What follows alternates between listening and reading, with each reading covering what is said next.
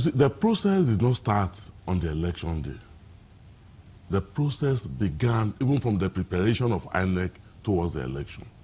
If you recall, our party, the People's Democratic Party, it raised issues even before the election day. One, when INEC was enhancing the card reader, we demanded to know why are they limiting the number of readers that they were enhancing. The polling units in Ekiti is over 2,000.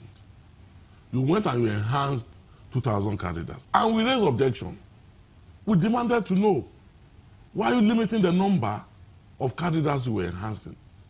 As we speak this morning, INEC has no response.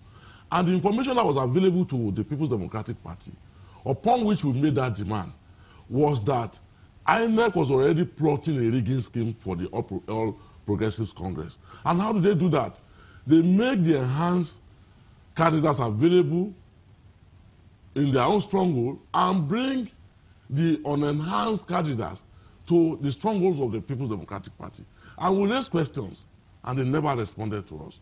So when people come and say... INEC responded because I, I think there were figures, I mean, their, part of the allegations was that they could impute figures uh, it, into the card readers. They could put in predetermined figures no, no. into the card reader before before the actual date. No. And INEC responded to say that, that, was that, another, that, that, was that another, is not possible. That was another allegation. You are talking about the allegation that bordered on preloading the card reader.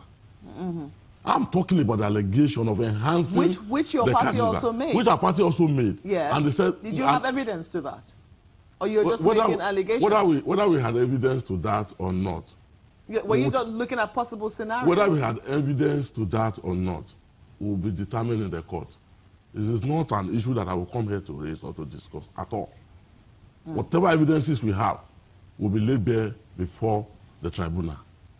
But what I'm saying in essence is this. The process did not start on the election day.